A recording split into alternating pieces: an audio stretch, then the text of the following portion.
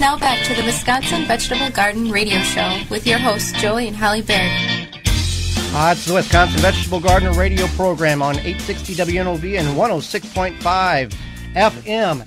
WisconsinVegetableGardener.com, your destination for all things gardening. 830 garden related videos, Instagram, Twitter, Facebook, and a whole lot more can be found right there. Peas are one of the first crops that you will plant in your garden or in your containers.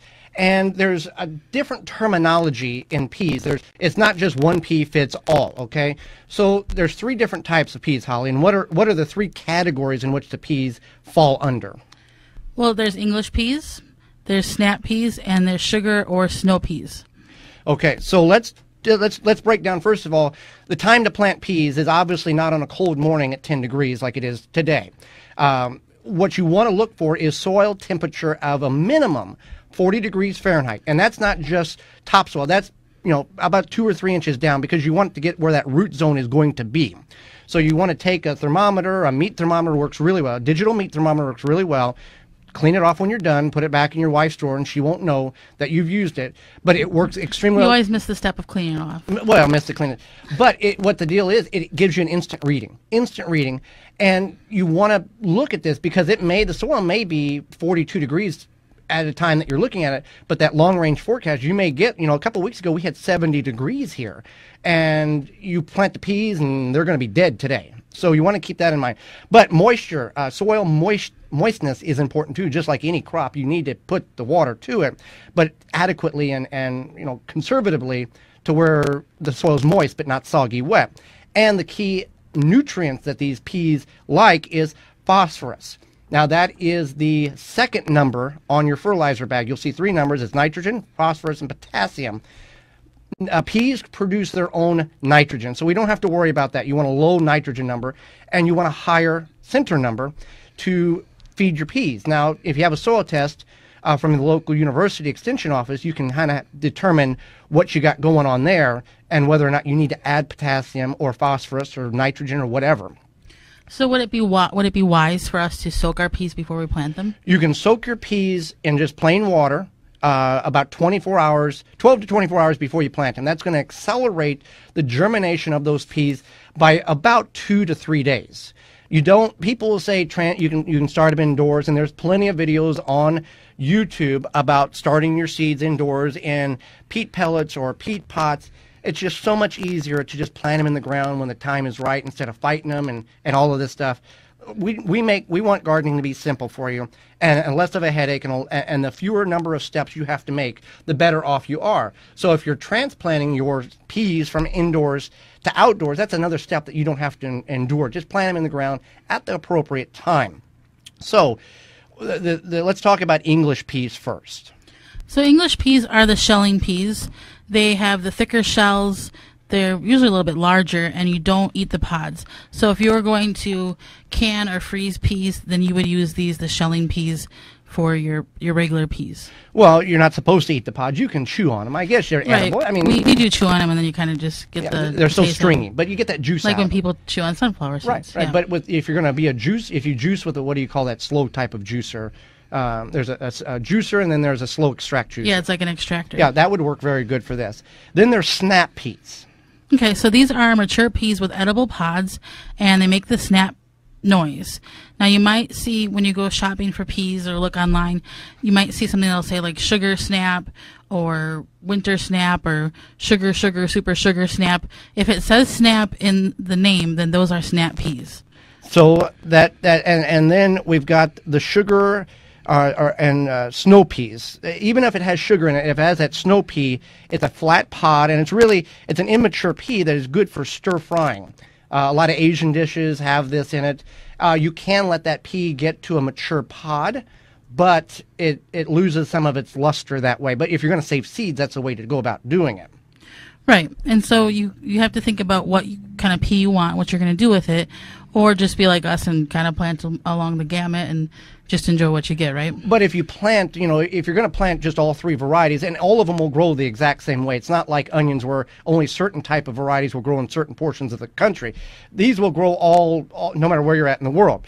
But you want to divide them up. If you're planting a row of English peas, a row of snap peas, a row of sugar snap, uh, sugar snow peas, you want to mark them so you know what the end result. So you know what you're looking for at the time of harvest. Because if you're waiting, if you, if you intermingle it and you have snow peas uh, intermingled with the English peas, you're going to wait until they all bulk up, and then you've got your flat pod peas that you're going to use for stir fry that are not going to be good for stir fry because they're at a mature state and they're big pod peas. Right. And then you also want to trellis your peas. This is going to help them grow up and you don't have to do anything fancy. You can just do some twine or garden string around some posts and they will definitely twine up there and the trellising is done. You can be very creative. You can buy at the garden center a, a netting and allow them to crawl up that. You can use a fence. We, we've been very creative and if you're a innovator and decide to drive around the neighborhood on junk day, uh, we found the bottom of baby cribs, the that mesh wire bottom, and that works very well for peas as well. But again, like Holly stated, we want to get them off the ground because peas are soft stem plants, and if you don't get them elevated and they have tin, what, what do you call those tentacles? Tendrils. Tendrils that want to grasp onto something, and if they don't have something to grasp onto, they will fall over. They'll get top heavy and uh, and fall over, and the the stems will pinch, and then you don't have peas. You've got a dead plant on your hand. Right. That's that's good to keep in mind. I was gonna mention. And there are thing. dwarf variety peas as well. Right. Uh, those are really good for container gardening because simply you just want to put them in a container. They'll get about 18, 24 inches tall at, at most. A normal traditional pea, we've seen them as high as three and a half, four foot tall. Uh, it, it's a very common uh, plant size for them. But the dwarf varieties, and you can find these at, at garden centers online, they, they'll get, you know, 18, 24 inches high. You can drop a, a really cheap tomato cage or simply just put some twigs and stakes, um, broken limbs that you found in the yard, just something to allow them to, to shimmy up like a, a rope at the gym. You know, uh, people, you just, just something to hold on to is all we're looking at doing with the peas. What else did you want to say about the peas? I was just going to notate that it is important to make sure you're planting them at the right temperature and have nice moist soil, but not overly moist soil because if that's the case, they could just rot in the ground. Right. If and you- we've had that happen. We've had that happen. You put them in the ground a- at that 40 degree temperature, and it's extremely wet, and then it kind of drops to below 40, and they set and rot. And this is common with any vegetable, any seed that you're putting around, whether it's potatoes, whether it's corn. There's an optimal soil temperature at root zone that these plants grow best at. That's why there's information on the back of the package. That's why there's a, a billion and a half different websites that say plant your peas at no colder than 40 degrees because uh, it's it's more effective to what's what's the saying? I'd much rather plant my my peas, my tomatoes, whatever, fill in the blank, two weeks later than the second time with my neighbor when he plants them the first time. So you want to keep that in mind uh, when it comes to growing peas in containers, in raised in raised beds, in traditional ground garden. The thing with the peas in the containers. You can get away with that because you're you're going to have it on a patio porch deck most likely in a smaller container, and whenever it gets to you're going to put good potting soil or compost, or we grow straight in compost. There's nothing wrong. There's a lot of uh, sites that say, oh, you want to mix your compost with a certain mixture of uh, potting soil or vermiculite. We've grown in straight compost for years and have had actually uh, no problems, and it thrives very, very successfully. But with a container or grow bag, whatever the case is, you got your peas in, the dwarf variety, uh, you can just carry them inside in the hallway if it's going to be really cold at night on the early days. And, and what is it? The peas the short as the days get longer throughout the, the summer, the peas will produce less. We usually have the optimal, we usually have the best pea production about uh, the week before the 4th of July. Somewhere in that range is about the peak. Now, if you're, the, the dwarf varieties work good in the containers, but you can also grow the regular peas in containers, grow bags, as long as you have some kind of stability. yeah, and could you grow peas in a straw bale? We could, you could grow peas in a straw bale. Uh, there's nothing wrong with that. Again, if you condition the bale correctly and follow the, the requirements on the back of the seed package and do all the steps correctly, uh, peas will grow really anywhere. And, the- and the nice thing about peas, unlike some vegetables, you can plant these peas early in the, in the spring when the soil is 40 degrees. Again, I stress that because people will want to put them in as soon as we get the first 40 degree day or for, uh, first 70 degree day and they think, oh, well, everything's good. Once the peas get harvested in the optimal time about July, that's the time you want to replant your peas for the fall harvest. Peas take about 70 days to reach maturity.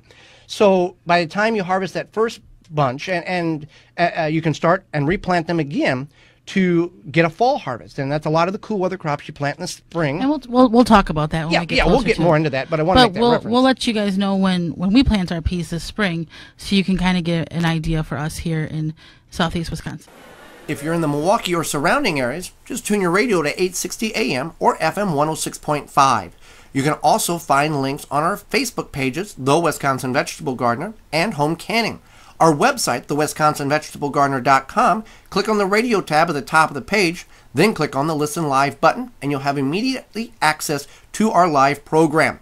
Mobile devices work very well also. Go to your app store and download for free the TuneIn app or the Simple Radio app. Then search WNOV 860, save it to your favorites, and you can have access to our radio show live wherever you're at in the world. Our radio program will also have podcast replay under the radio tab day, uh, several days following the live broadcast. You can find all of these links in the show notes below. Our show airs 9 to 10 a.m. Central Standard Time every Saturday, March through the end of October. And we want to thank our sponsors because without them, this would not be anywhere possible. You can find all of their links under the radio tab on our website at thewisconsinvegetablegardener.com. For more information, please visit thewisconsinvegetablegardener.com.